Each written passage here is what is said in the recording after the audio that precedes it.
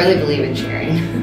Shareable inspires me because they're able to connect us all with great stories about how the world can be transformed through the power of sharing. So Shareable really opened up my world to stuff that was happening everywhere, where I thought, oh, these are some good ideas and they're just happening here. Suddenly, Australia, Paris, Toronto, China, like everywhere, people are do doing different kinds of sharing initiatives. And um, has just been really influential in that way. And it's also when I start talking to other people, when I'm spreading the word, when I'm evangelizing, Shareable is the one of the best places to say, just go hit this website. It'll blow your mind. You'll find all other kinds of stuff there, and it'll launch you to whatever you want to do, whatever themes you want to you want to follow.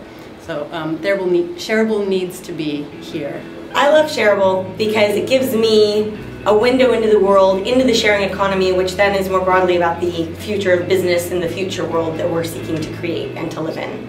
Shareable focuses a lot on the community building aspect, and not just on the website, but in terms of the conferences it, it hosts and the communities that it, that it nurtures. So it's not just what's happening online, it's also what's offline, and it's the fact that Shareable is the container that can hold it all.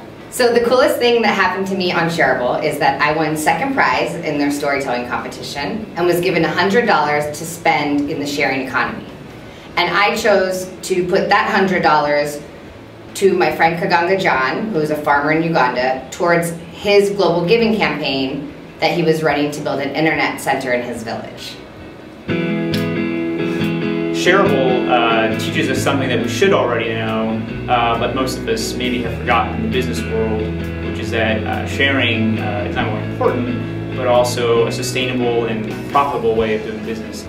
So Shareable inspires me because of the people who create it. Uh, it is one of the only places online for uh, writers and entrepreneurs and consumers to come together and people who share a common vision, who believe that access trumps ownership and that value unused is waste.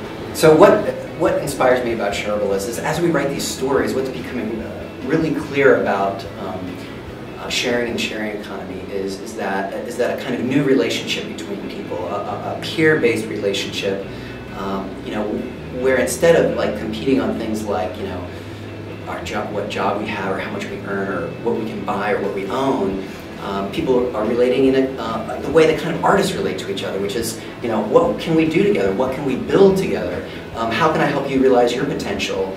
And maybe you have something that I can, that will help me realize my dreams.